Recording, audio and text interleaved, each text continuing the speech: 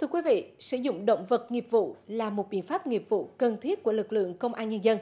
Trong suốt thời gian qua, các cán bộ chiến sĩ của Phòng Cảnh sát Cơ động Công an thành phố đã đoàn kết phấn đấu vượt mọi khó khăn để thực hiện thắng lợi nhiệm vụ chính trị mà Đảng và Nhà nước giao phó.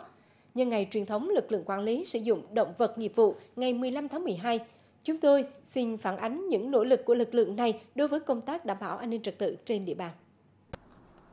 Đây là những chú chó nghiệp vụ thuộc sự quản lý huấn luyện của Công an thành phố Đà Nẵng tham gia vào quá trình truy bắt phạm nhân đặc biệt nguy hiểm triệu quân sự trốn khỏi trại giam T10 của quân khu 5 vào những ngày đầu tháng 6 năm 2020 tại đèo Hải Vân.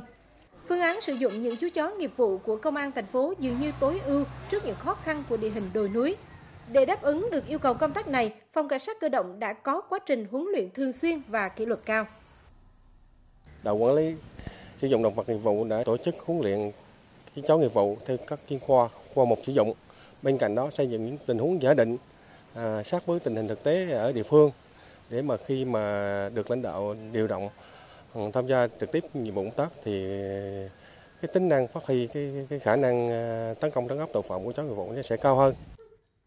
Mỗi chú chó nghiệp vụ phải trải qua những bài huấn luyện cơ bản và chuyên sâu như giám biệt mùi hơi người, phát hiện các chất ma túy, chất nổ, chống khủng bố, cứu nạn, cứu hộ. Để công tác huấn luyện và sử dụng chó nghiệp vụ đặt yêu cầu giúp đảm bảo an ninh trật tự, đòi hỏi mỗi cán bộ chiến sĩ cảnh sát cơ động phải hết lòng yêu thương và trách nhiệm như hiểu một đồng đội đặc biệt của mình. Cán bộ huấn luyện phải ờ,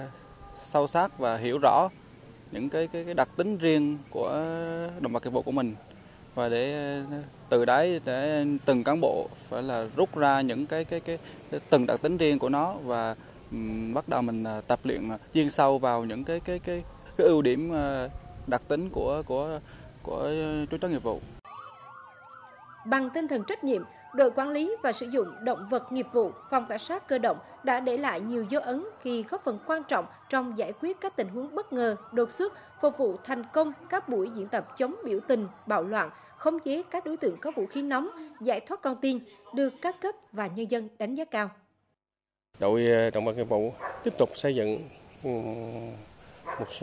số phương án tình huống giả định, ờ, triển khai tập luyện nâng cao cái ờ, khả năng tác chiến của động vật nghiệp vụ, sẵn sàng phối hợp với lực lượng các lực lượng tham gia tuần tra kiểm soát trên địa bàn thành phố đảm bảo tình hình an ninh trật tự.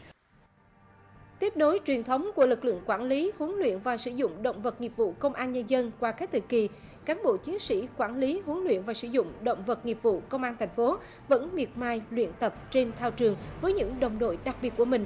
Bởi họ biết, chỉ có sự rèn luyện mới giúp cán bộ chiến sĩ và động vật nghiệp vụ đáp ứng yêu cầu đảm bảo an ninh trật tự trong tình hình mới.